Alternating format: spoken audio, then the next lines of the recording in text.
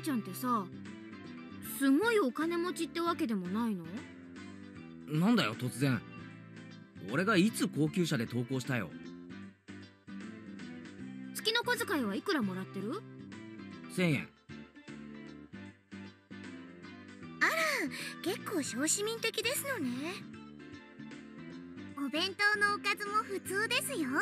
お金持ちじゃないです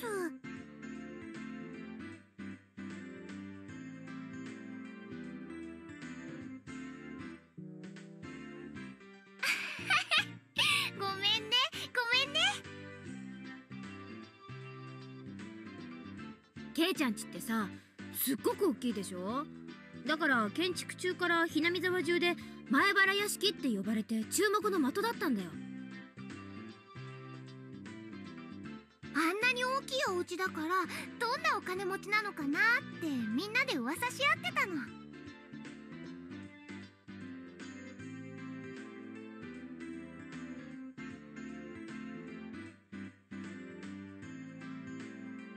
私の推理ではお家を建てるのにお金をかけすぎて貧乏になってしまったと考えてますのよ。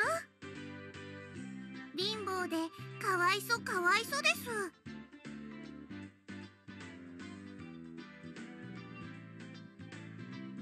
あー諸君らの楽しい想像をぶち壊すようで悪いがうちは金持ちでも貧乏でもないぞ。極めて平均的な普通の家庭だ。れだけ大きな家は普通とは言わないって。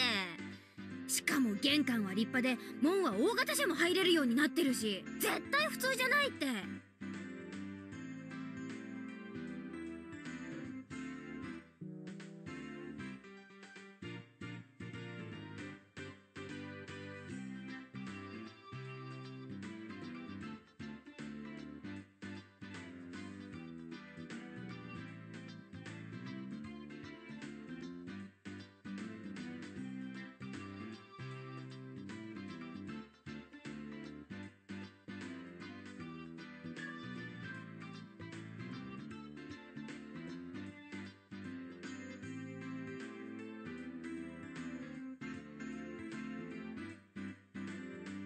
ぜひ今度ケイちゃんの家を探検してみたいよな。お金持ちじゃないと主張しながらもあの邸宅一体何が隠されているのか。かいいものが隠されてるといいな。はうきっと家具を買うお金もなくなってて殺風景な部屋がいっぱいなのですわ。絨毯のお部屋ならぜひゴロゴロしてみたいですよ。それいいねそれいいね。レナもゴロ